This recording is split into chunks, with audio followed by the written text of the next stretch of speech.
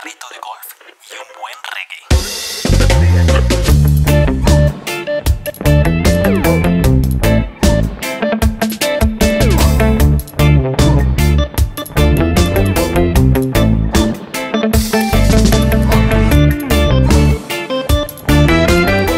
El alquiler de los carritos de golf están en un promedio de 100 mil hasta 180 mil pesos.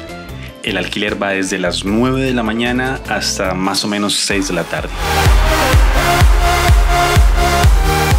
Nosotros alquilamos el carrito por medio de una empresa que se llama Oasis Tour, que ofrece varias actividades para hacer en la isla a un muy buen precio.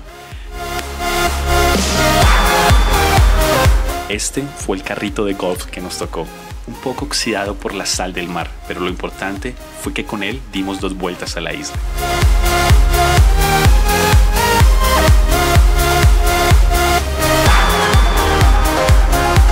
Bueno de recorrer la isla en un carrito de golf es que uno hace las paradas en los lugares que a uno más le gustan y no solamente en los más turísticos. De esta forma no hay esa presión de los horarios, sino que uno toma el tiempo que uno quiera en el lugar que uno quiera.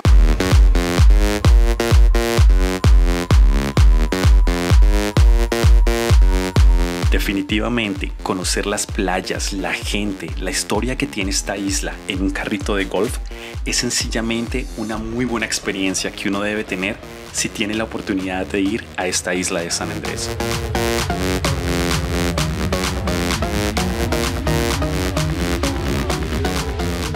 Bueno, cuando se entrega el carrito, ya después de tenerlo todo el día, hay que entregarlo cargado con más o menos 20 mil pesos. Con 20 mil pesos ya dice que se llena. Y luego descansar después de un día en esta hermosa isla.